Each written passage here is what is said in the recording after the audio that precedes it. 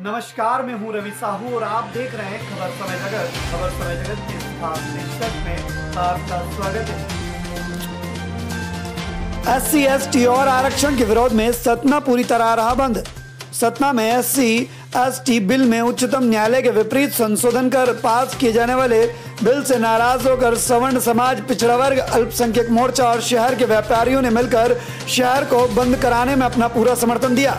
गुरुवार की सुबह से ही व्यापारियों ने जहाँ स्वेच्छा से दुकानें और अपनी प्रतिष्ठान बंद रखे, वहीं बस ऑनर्स एसोसिएशन के आह्वान पर बस के पहिए भी थमे नज़र आए। सतना बंद के इस आयोजन में सर्व समाज के लोग लगभग 11 बजे बीटीआई के मैदान में एकत्रित हुए और वहाँ से 12 बजे रैली निकाली, जो बस स्टैंड के रास्ते होते हुए कृष्ण नगर अस्पताल चौराहा, पन्नी लाल चौक, सिटी कोतवाली होते हुए कलेक्ट्रेट पहुँचे, जहाँ राष्ट्रपति के नाम संबोधन का ज्ञापन कलेक्टर को सौंप कर बिल को वापस करने की मांग की गई।